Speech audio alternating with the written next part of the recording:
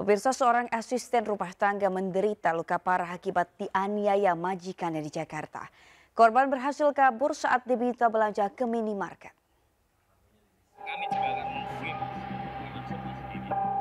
Siti Kotimah, warga Pemalang, Jawa Tengah ini tergeletak lemas di ruang perawatan RSUD Dr. Azari, Pemalang, Jawa Tengah. Wanita 23 tahun ini mengaku kabur dari tempat kerjanya karena tidak tahan dengan siksaan majikannya. Tiga bulan belakangan, Siti menjadi asisten rumah tangga di apartemen majikannya di Jakarta. Ia akhirnya berhasil kabur saat diminta berbelanja ke minimarket.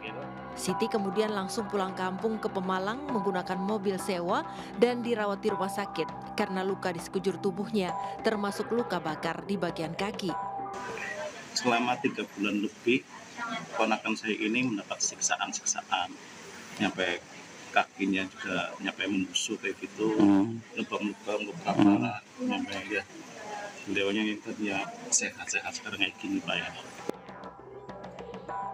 Korban saat ini masih lemas dan shock serta tidak mampu berkomunikasi dengan baik.